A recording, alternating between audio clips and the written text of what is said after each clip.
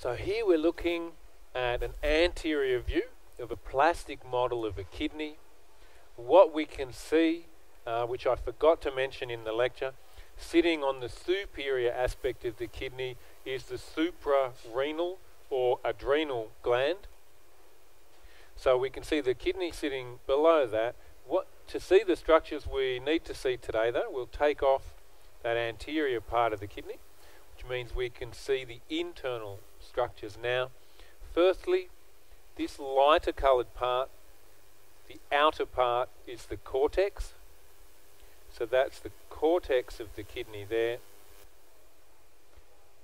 A more interior part here would be a pyramid. So here they've coloured them in red and pink. On, on the specimens they'll just be dark, dark areas and light areas.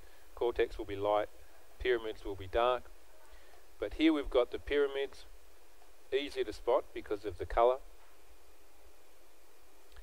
And remember that the collecting ducts that carry the urine run down the pyramid, empty through these papillae into these minor calyces. So these tunnels here, each of them is a minor calyx.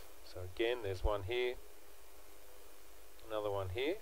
Now the minor calyces, let's take these two for example, when they come together, they form a major calyx. So here is a major calyx which is formed when two minor calyces come together. So the urine will come down a collecting duct into a minor calyx and then if it's one of these two minor calyces here into a major calyx and then when two major calyces come together that is the renal pelvis.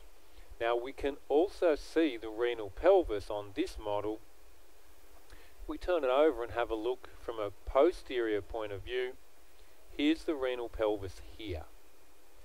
This is probably the easiest place to pin the pelvis because you can clearly see that it's a wide tubular structure here.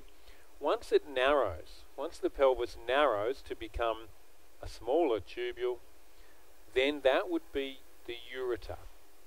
Now I probably wouldn't pin the ureter on this model because there are other models that show it more clearly.